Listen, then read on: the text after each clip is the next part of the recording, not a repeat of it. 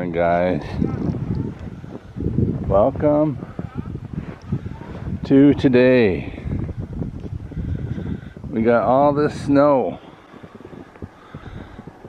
Penny's there looking at me like he's out there saying, let me out in the snow. And Chino's out there whinnying too.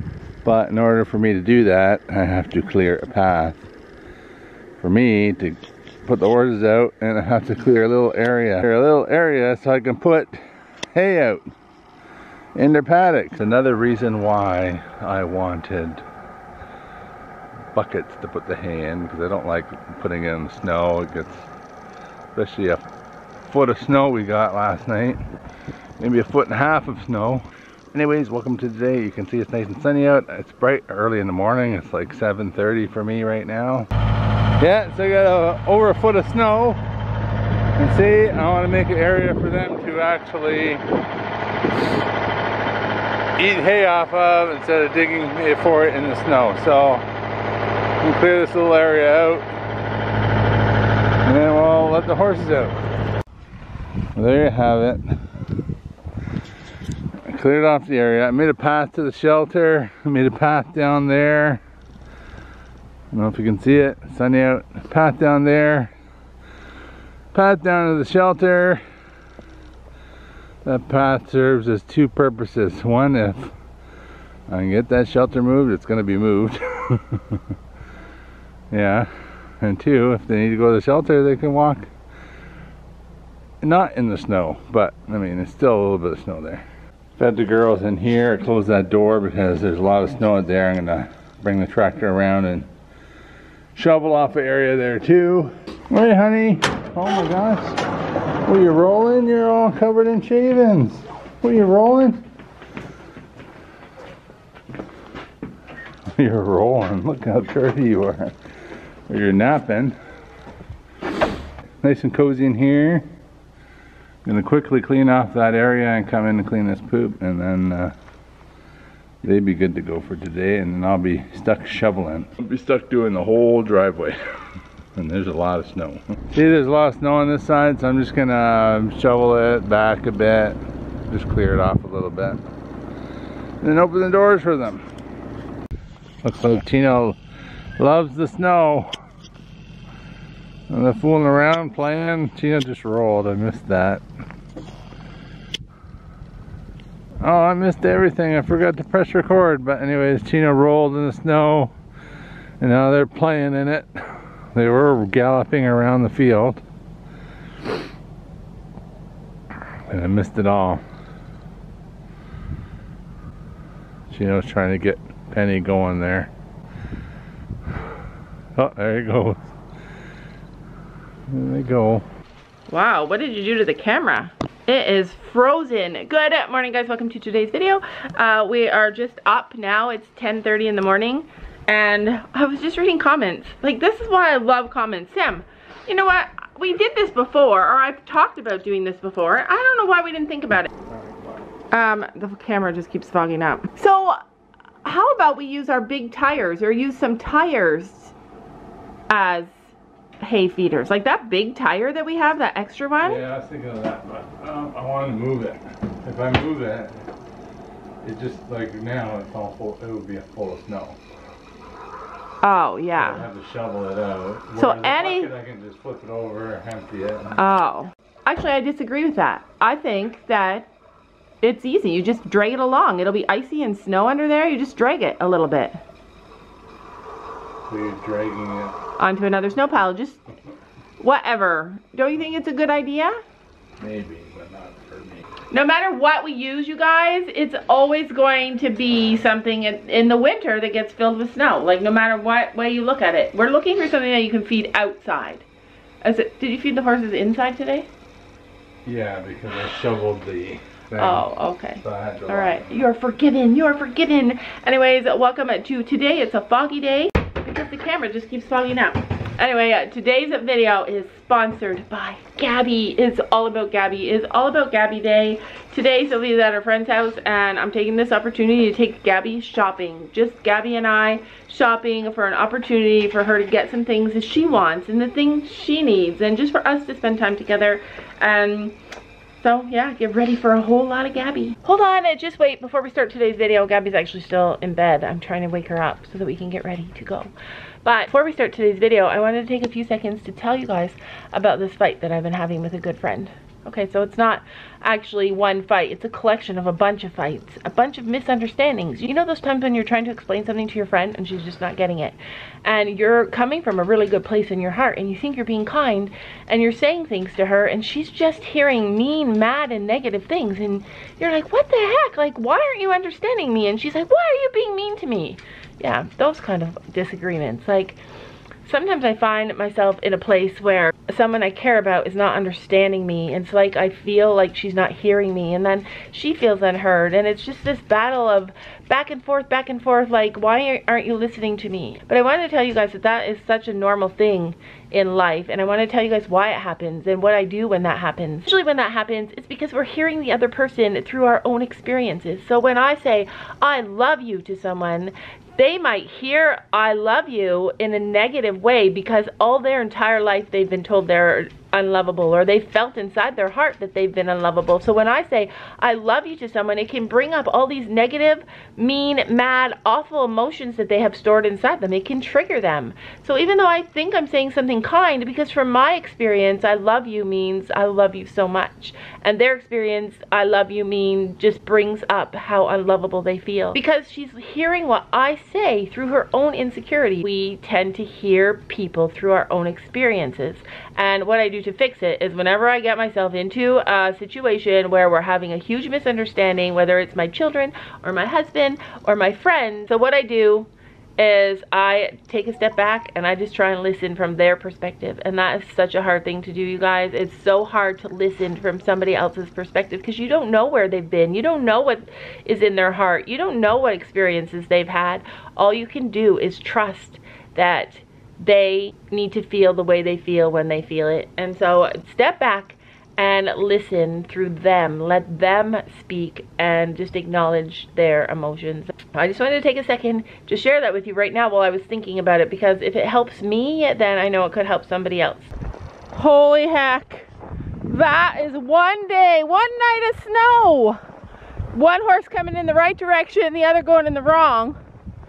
That's a lot of snow, you guys. Oh, I just saw the cat. You're just like me, Chino. Let's go. What if I'm here first, so I bring you? Whew, it's awful out. Absolutely awful.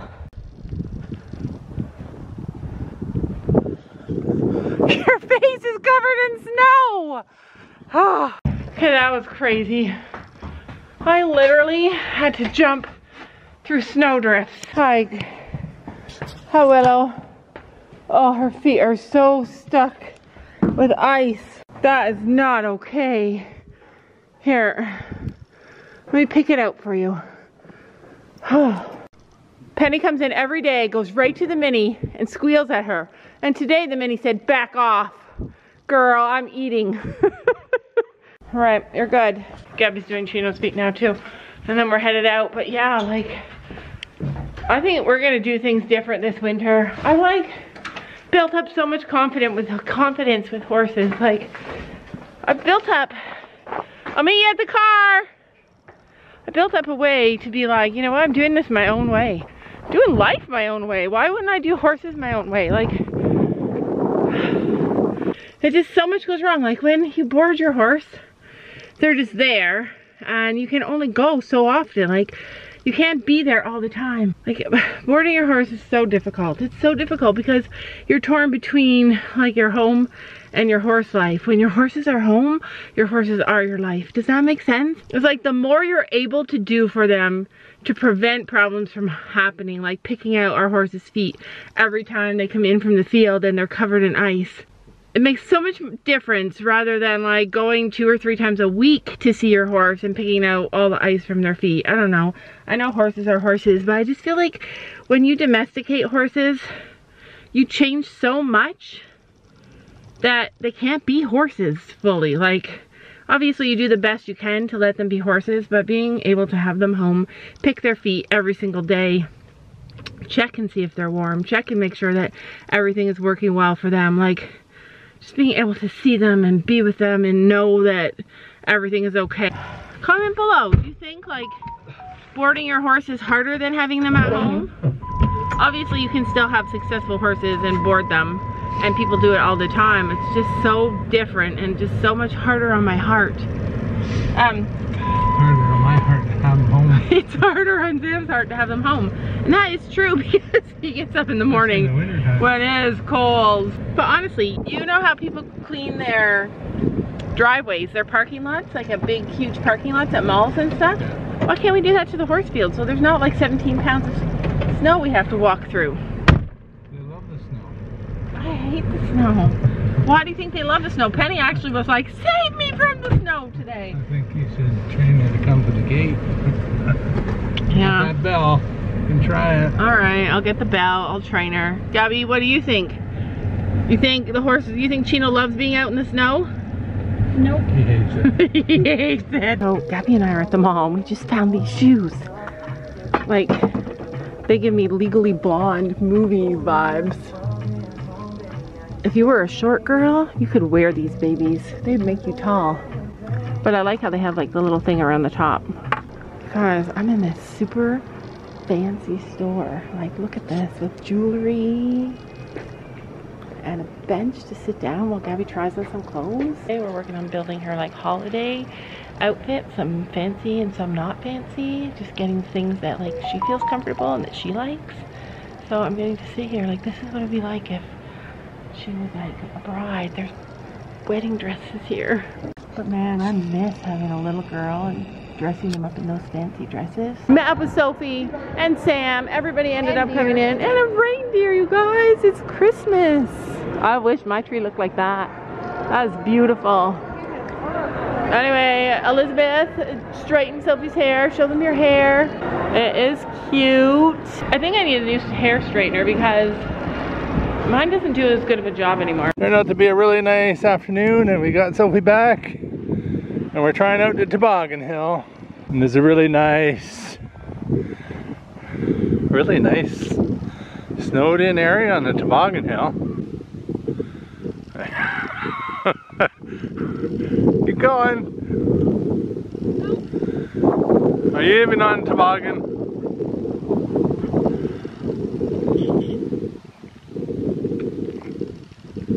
Okay, let's go. Come on, you can do it. Yeah, that's just a really steep area. Just go down a little bit more from there. That's a really steep area. This is not packing snow though. It's like uh, powder snow. Molly loves the snow.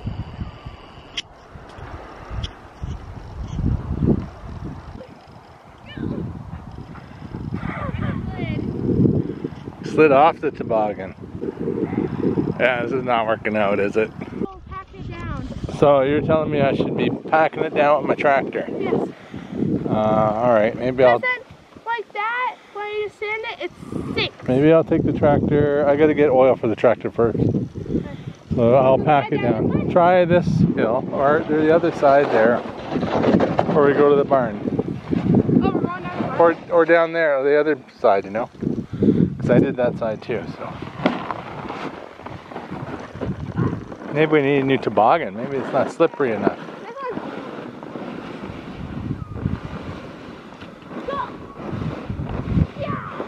Yeah, you're gonna need to go down the other side. Small hill number three. See if this one works. Where are you going? Small hill number three. See if it works.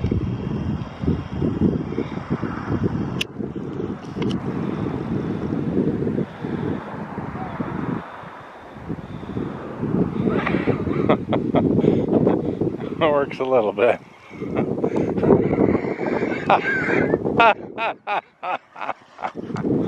ah, even Penny's laughing out there. Even Penny's out there laughing. Oh, well, I'm going in. It's freezing out. All right, it's time for supper. Time to bring the horses in. She knows how already in. Girls are going to get their food now. I don't know where they are. Where are they? Where's Penny? Hi, Pen. Want your supper? Get in your spot. Yeah. Girl pen. Girl. Oops, there you go. There you go. Okay, Willow. There you go, Willow. Pretty dark in here. Gets dark quick now, doesn't it? And Gracie, it's dark quick. Yep. I'll plow this area today. And piled it way back there.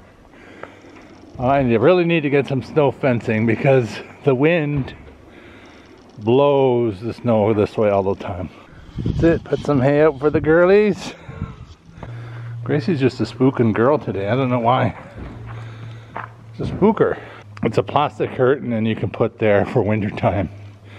Horses can go through it. It's like see-through and it keeps the wind out kind of. I don't know how it would keep the wind out if it's blowing pretty windy. I mean, it'll still blow, but I'm gonna look for it. I think uh, they're on Amazon too. I'm gonna try it out and see if I can order one. And yeah.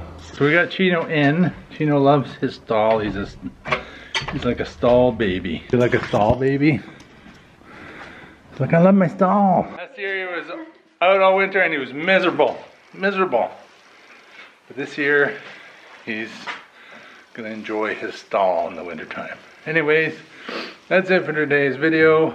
We'll see you tomorrow.